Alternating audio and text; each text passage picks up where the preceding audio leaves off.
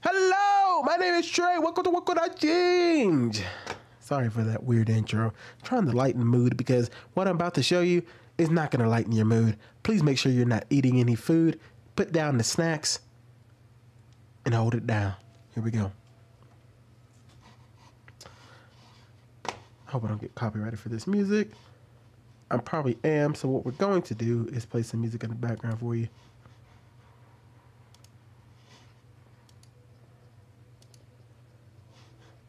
I don't want to play that music though.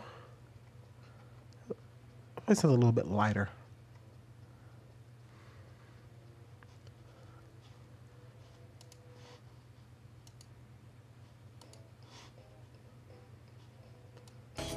I guess this will work.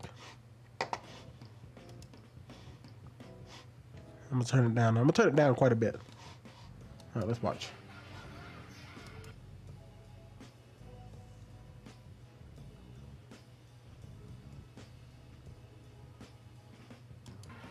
You know? It's it's not gonna work. We get copyrighted. I'll just mute it in the video. But you guys who are watching this now will get to see it. If you guys are watching this afterwards and you're not hearing anything, just know that I muted it because of the copyright. But for now, here we go.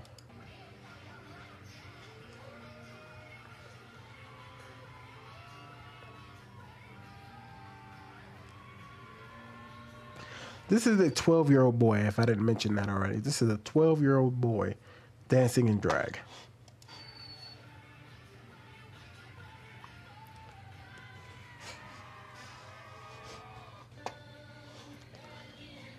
As a grown man throwing money on a child. How disgusting.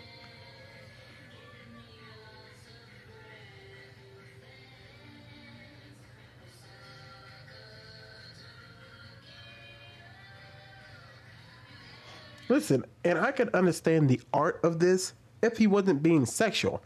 If this was just a young man who was 12 who was just dancing to a song and left out all this this boot wearing and all this sexual stuff, I'd be cool. Like breakdancing, that'd be cool to watch. But this disgrace.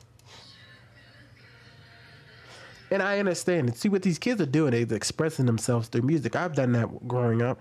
But what has been taught to us is the only way to express yourself through music today is to be sexual with it. And you just don't have to do that. Us adults don't have to um, throw money. And you're throwing money at the child like they're a stripper. Like that is not the way to express yourself. That's foolish and disgusting.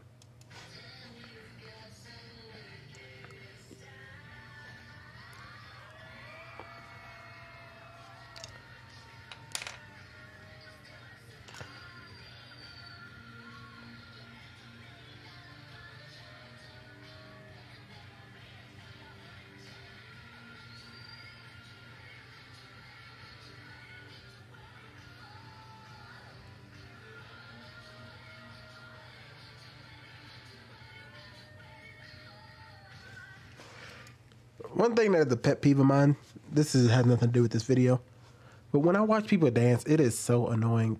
It's just like when you when I was growing up and I used to go to like church camps and stuff. It used to be so annoying to when a preacher was talking and they'd be like, um, and God says that you need to love yourself. And you could barely hear the preacher because every four or five minutes it would be uncontrollable clapping and you'd have to wait two or three minutes for it to end. And it's even worse when you get stuff like this with dancing because my best friend was a dancer at one point, and this is how it goes. Like you're dancing, and every move you do, people don't know where to cheer.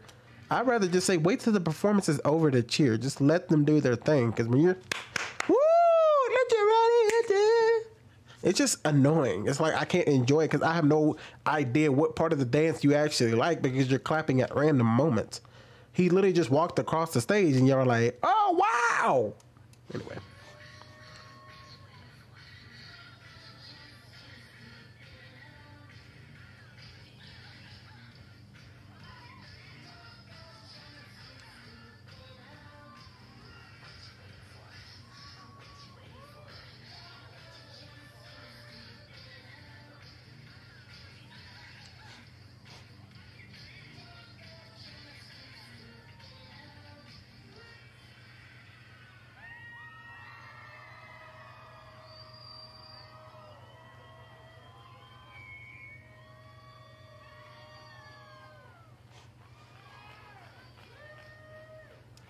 He's probably gonna go back there and cry.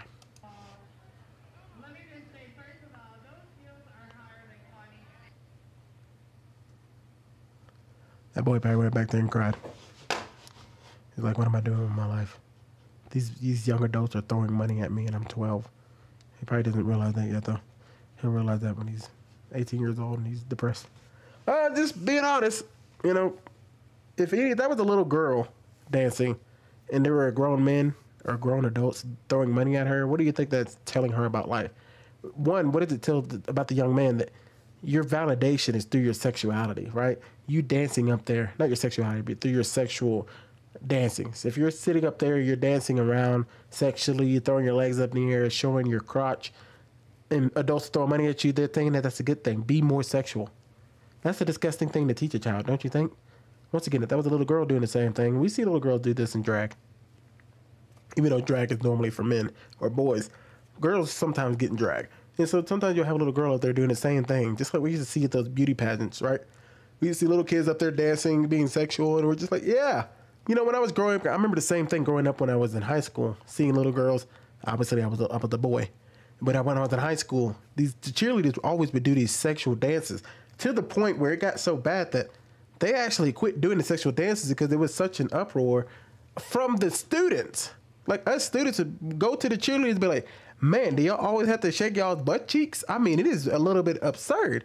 They actually calmed it down. At least that's what I remember. I could remember completely wrong. But what I remember, I believe their dances got a lot less sexual by the time I became a senior. But that's just what happens, man. Every little kid gets sexualized like this and they think it's like cool and something we should cheer on when we should actually discourage it. If a kid wants, if a grown adult wants to dance sexually like that, okay. Do I think it's still cool? No. But you know what? I can't, we can't stop everything, right? But in this case, yeah, bad. Watching a young man give away his life to dance sexually in front of adults and get money thrown at him, what are we doing? Ask yourself that. Would you throw money at a child who's dancing? he- He's throwing his legs up in the air. You can see his crotch area. Am I supposed to be like, yes, you're you're, you're doing great, knowing that I'm ruining my son's life or I'm ruining this young man's life by even validating this? You know who's pushed them into this, right? The other drag queens, the other grown men who are like, yeah, you do it. And you know what drag queens are? In a lot of cases, some people may think they're just like a Ronald McDonald, right? Just clowns that go around and just entertain. But a lot of them do sex work. hmm They do sex work. Like, what do you think a drag queen is? Like, what do you think? Why do you think everything they do is mainly sexual? You remember the videos I made back in the day of the the big sexual thing that was going on in Tennessee before they really got cracked down on it? They were literally upstage showing fake breasts and having the guys hump each other, and they were just shaking their booties. It was absolutely absurd. What do you think drag queens do? Why do you think everything they do is normally sexual in nature? even the people who are drag queens who are against going to kid stuff, they'll tell you if you go to a drag queen show, it's gonna be raunchy. And it's gonna be debauchery. Okay, there's gonna be some drinking, there's gonna be some sexual stuff, it's gonna be lewd. The drag queens will tell you that. So what do you think they do? You think they're just performers? They're clowns that go around and juggle? No, they're not. They, they do sexual stuff. They dance sexually at shows for a reason. That's what they do. They sex workers at the end of the day. Anyway, so why would you encourage a little 12 year old boy to do stuff that is considered sex work in the adult world? Hey, let me know what y'all think in the comment section down below. All right, I'm going to take